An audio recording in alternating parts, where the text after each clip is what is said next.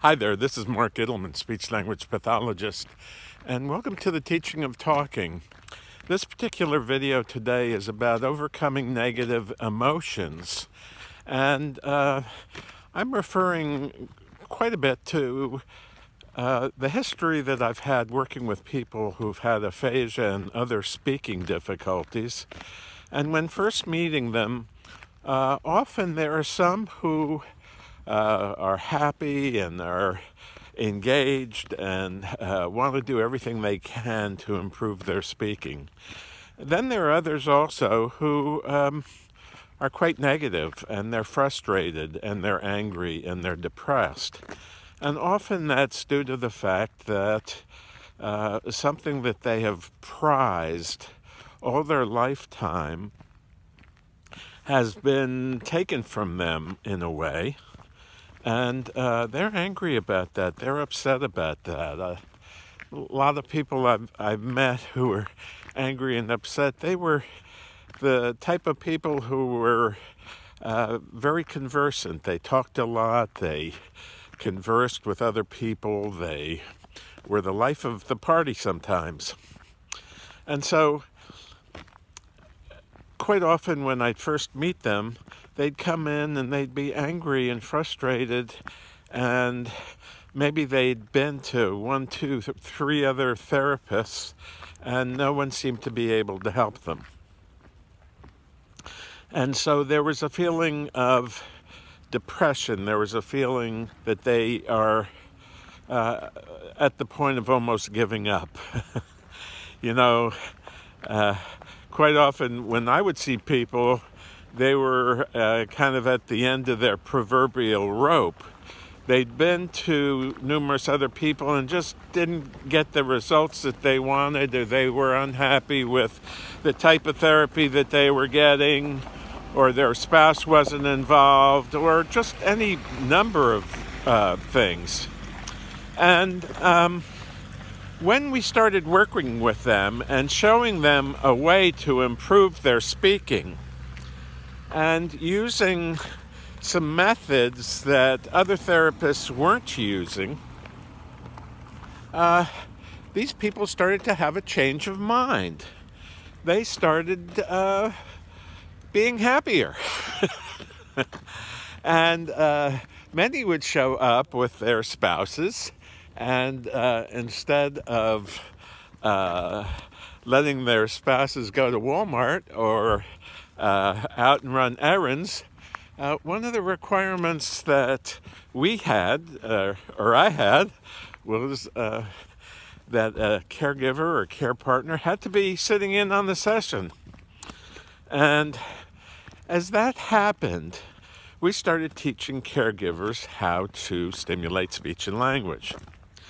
And then we started to teach them how to stimulate speech and language in a conversation so that what would happen is that the three of us would have conversations, uh, stimulated conversations, and whoop, I'm going to throw some garbage away. Uh, we'd have some stimulated conversations about lots of interesting topics. And uh, Many of them would be fun topics. Many of them would be historical topics of maybe their relationship or when they got married or or something that uh, something funny that happened uh, in the past or um, a mistake that was made along the way when they were younger. All kinds of subjects we talk about. And as we would talk about these subjects, uh, we would talk about them at the level of complexity that the person with aphasia had. So in some cases, there was one word, or two words, or three words. And uh, as we'd work longer and longer, what would happen is that they started producing phrases. And then we'd stay at the phrase level for a while. And then uh, they'd get pretty good at that. So when they get pretty good at that, then we'd go to the sentence level.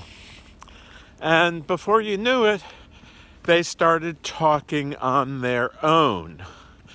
And what happened? what a change of heart these people had. They became happier. They became uh, fun. And uh, they could let go of the anger and the frustration. We used to work with one person like that, and uh, he used to always bring gifts to the clinic. At first, he came in, he was angry, he was upset, he was depressed. So was his family. But with time, as he started developing the ability to speak, um, he was happy. And when he was happy, he was very giving. So he'd bring things to uh, the clinic and he'd bring things to share uh, for all the therapists who uh, worked with him because why? Because he was glad. Why? Because he was happy. Why? Because he wanted to speak again. He was committed to speak again. And finally, there was a method that could help him learn to speak again and a method that could be shared with his family so that his family could be stimulating his speech and language throughout the day. And that's what the research says that the more intensive the speech and language stimulation, the better the results. This is Mark Ittleman, speech language pathologist, talking about negative emotions with aphasia and some of the ways that negative emotions become diminished, especially when the therapy is appropriate, when the therapy is fun, when the therapy is simple. And if you've liked this video, please give us a thumbs up. And down below this video are a number of links. One is to our website where you can go and check out a number of videos and information there. And there's also a link to a questionnaire down below if you'd like to speak with me personally.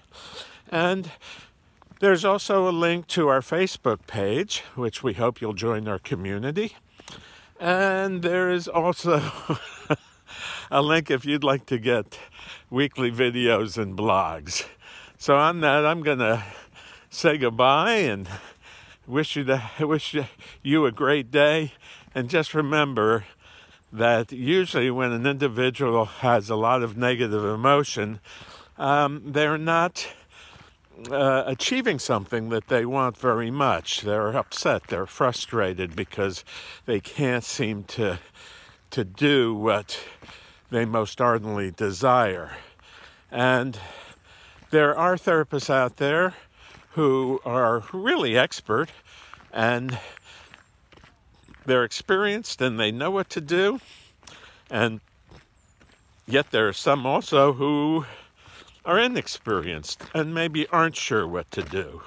So, what you've got to do is you've got to make sure that you find the right approach and you find the right therapist. And we provide uh, in service training to speech pathologists, and we teach them the teaching of talking method, which is a conversational method which is really a lot of fun and uh, really helps people speak again.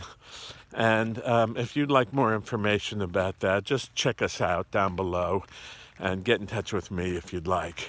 So, have a great day. This is Mark Ittleman, speech language pathologist, wishing you uh, all the very best and hope to see you soon. Bye bye now.